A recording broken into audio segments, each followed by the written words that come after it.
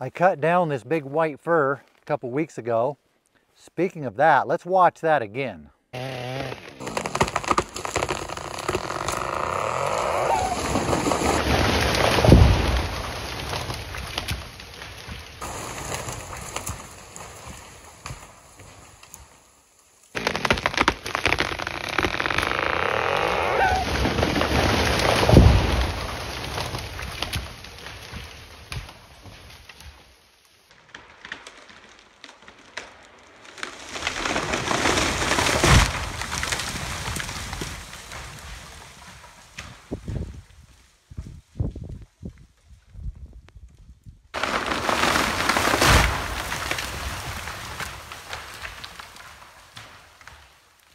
That never gets old.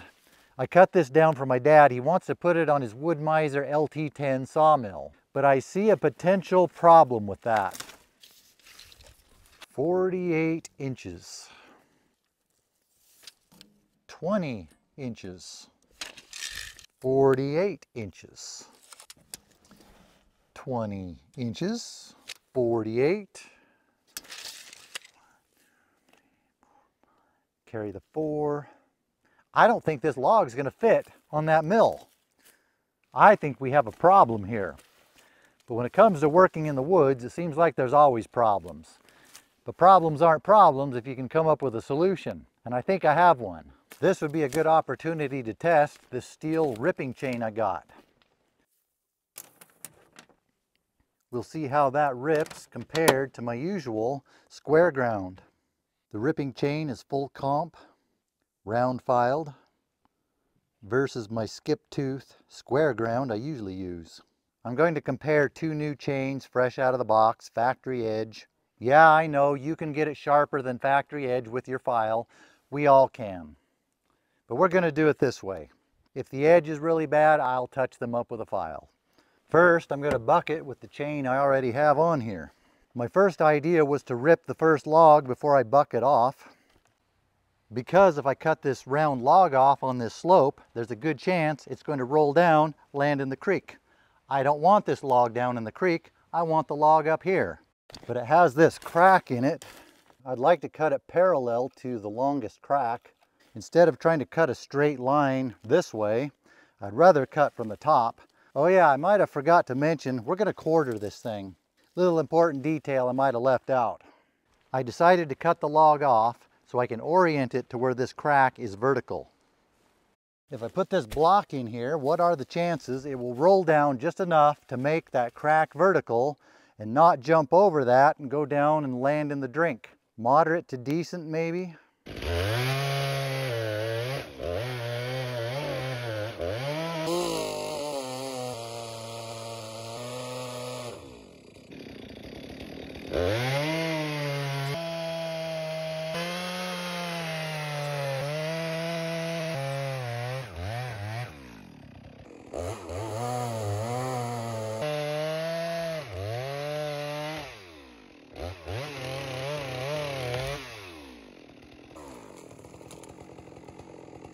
Almost lost it. It almost went over.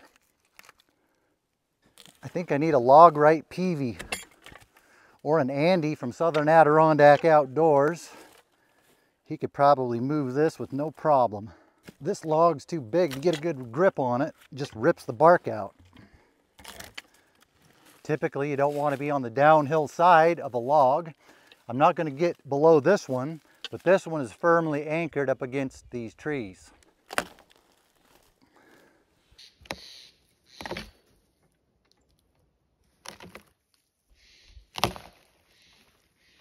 That puts that crack vertical.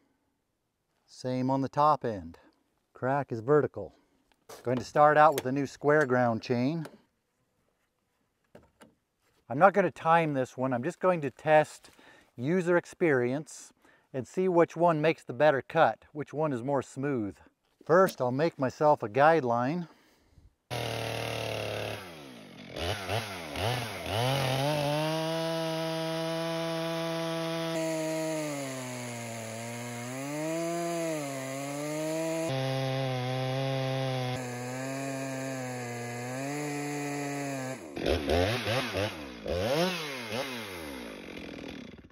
That's about halfway through. That cut really nice. It was a little bit slow because I didn't file the rakers down at all. I want to try it out with factory settings. One of the reasons I put a factory chain on is because my other chain, I have the rakers down pretty aggressive. On a long rip like that, I think it's better having them a little less aggressive. Let's put the ripping chain on, cut the rest of it with that. Got the ripping chain on. Let's see if there's any kind of noticeable difference.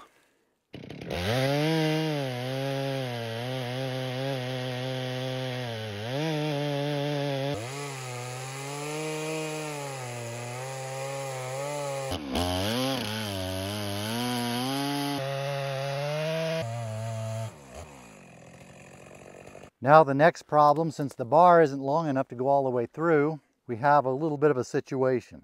Need to cut from the other side, but the other side's on the ground. What if I put a little bit of an extra insurance policy on this side, then very carefully, without having this thing roll down into the creek and without dying, that's an important part of working in the woods is to do things without dying. Making sure we stay on this side of this path. We don't want to get downhill from this. You're in a little bit of a bad spot there. You might want to move up a little bit. Get this to roll 90 degrees.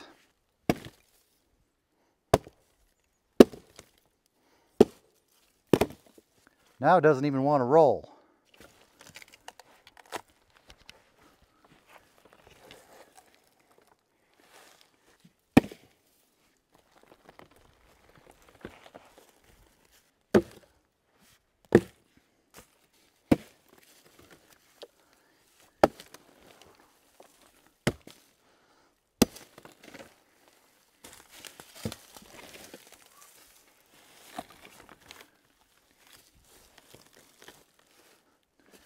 With that cut horizontal, I can do a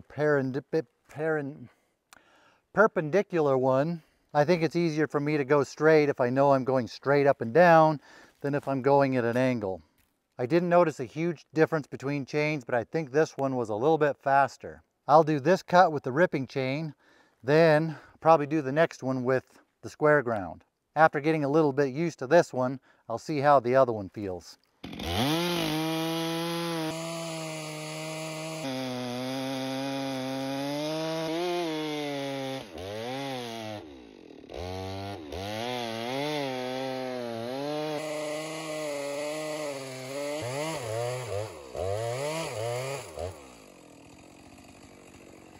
See if it's ready to come apart.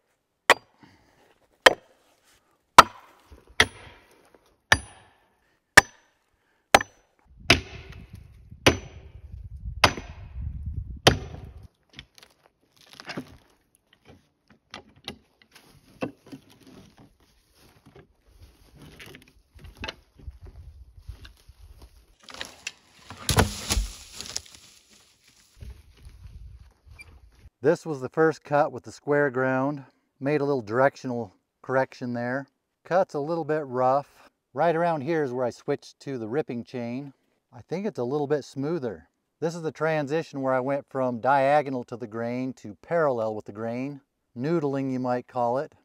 It cut really smooth there. This cut was all done with the ripping chain.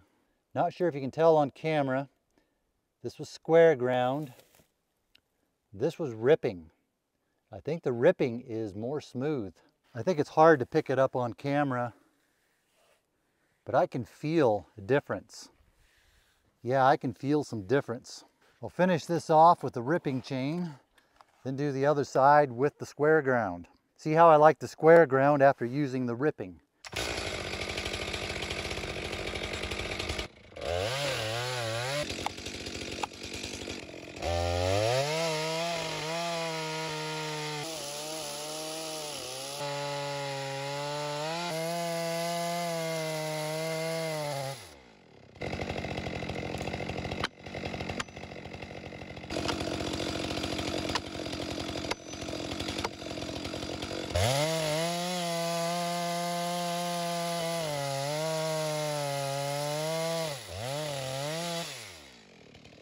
What are the chances this will play nice and roll off of here?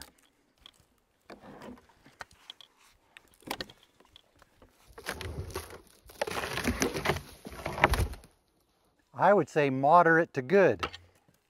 Back to the square ground. See how I like this after using the ripping chain. Key here is going to be cutting through this without getting it into the dirt.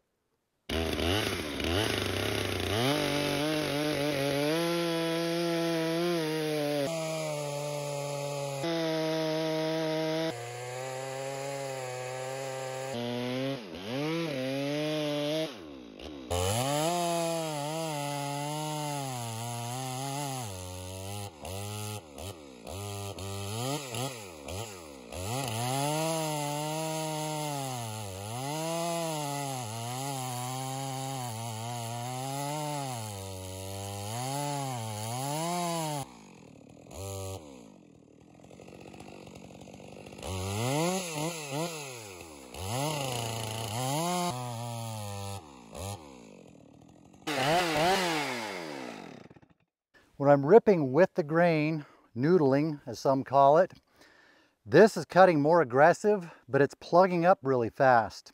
I've done a lot of noodling with a square ground chain, but it's particularly bad on this log. On the previous cuts, the ripping chain did really well on that. This is producing a lot of long noodles.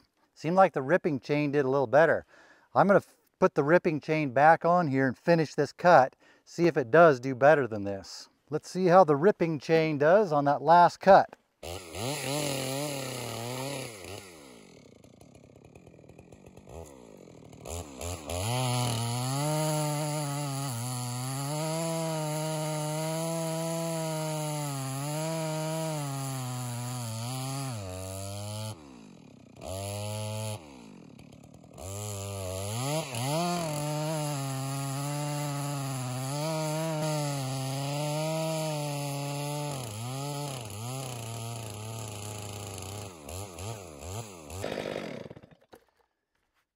It was plugging a little bit, but not as bad.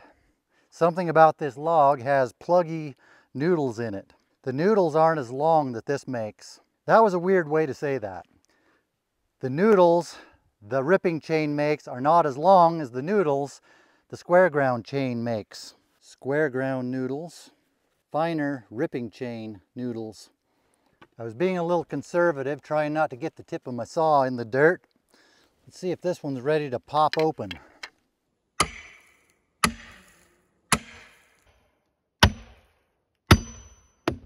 I wouldn't exactly call that popping open. I'm not sure if there's quite a bit of wood left or if it's just pushing up against these.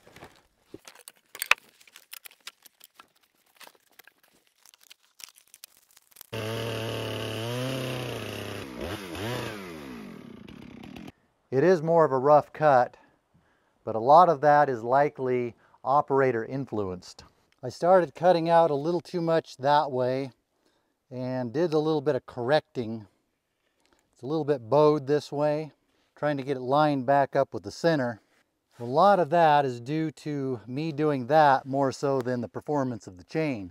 It's not a really good comparison because there's a lot of variables here, but my initial opinion is the ripping chain's a little bit more smooth, and I think it was cutting a little bit faster. Not a real good comparison, the skip tooth square ground versus ripping chain, which is round filed and full comp.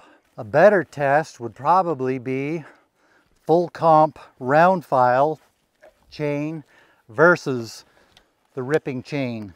That last cut parallel to the grain, there was a big difference on how the square ground plugged up versus how the ripping chain it plugged up too, but not as bad. On the last part of that cut with the ripping chain, I was at a little bit of a different angle in relation to the grain because the handle of the saw was hitting the ground. Maybe not a fair comparison. I've done a lot of ripping firewood rounds with square ground chain. It usually doesn't plug that bad. I think that was just an extra pluggy part of that log.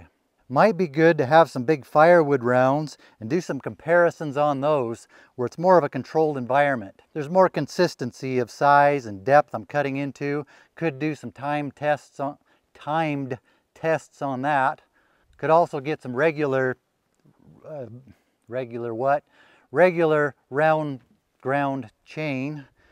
I think it's lunchtime. I'm losing my power of speech. Do some more comparisons with those. If there's more interest in this subject, I could go deeper into that. If you want to see more, hit the like button. If I get an unusually high percentage of likes on this video, then we can tin, tin, continue. then we can continue the subject, go in a little deeper on it. For now, I'm going to leave you with another replay of cutting that tree down because it never gets old. Eh, eh.